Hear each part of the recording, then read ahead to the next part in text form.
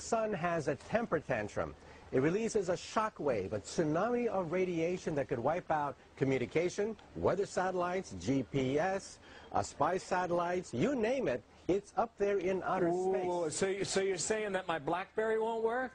The internet, Fox, television, uh, cable, satellite TV, all of it could get wiped out around 2012.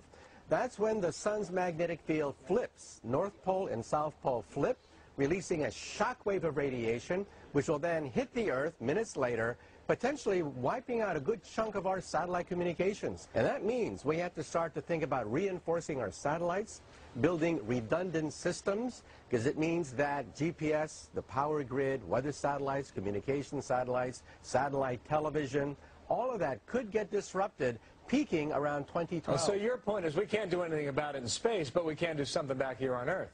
That's right. But ba- backup systems, are companies really doing that? Well, they're going to have to do it because, see, we scientists made a mistake. Well, some of our data was off by a factor of 20, and that's why we're issuing this alert now. We made a mistake. 2012 will be much more serious than we previously thought. Listening to you talk, I'm thinking Y2K. I'm thinking it's all just, it's just a tactic that put a lot of fear in a lot of people. It, it may have gotten us ready, but there was really no danger in the end. Well, let's hope that it's a dud. Let's hope that nothing happens. However, what if? What if our communication systems are wiping, wiped out? Billions of economic activity could be Do you think any, do you think anyone's taking this seriously? I think we're going to have to, the physicists are now sounding the alert. We made the mistake. Now's the time to begin to create redundant systems, reinforce our satellites, I got your build point. backup systems. right. Thank you, doctor. Mm-hmm. Nice to know.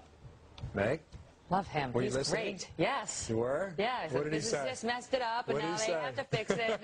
And he talked about the Department of Redundancy Department. Uh-huh, right. It's on magnetic fields, Yeah, we- polar opposites, we gotta fix it down Earth, here. right? When's it gonna happen? 11, uh, 2012, and they think this time it could be the big one. I think he is the most understandable physicist I've ever had the Okay. pleasure of listening to. Am I wrong? Do you guys love him? I think we should make him a Fox News contributor.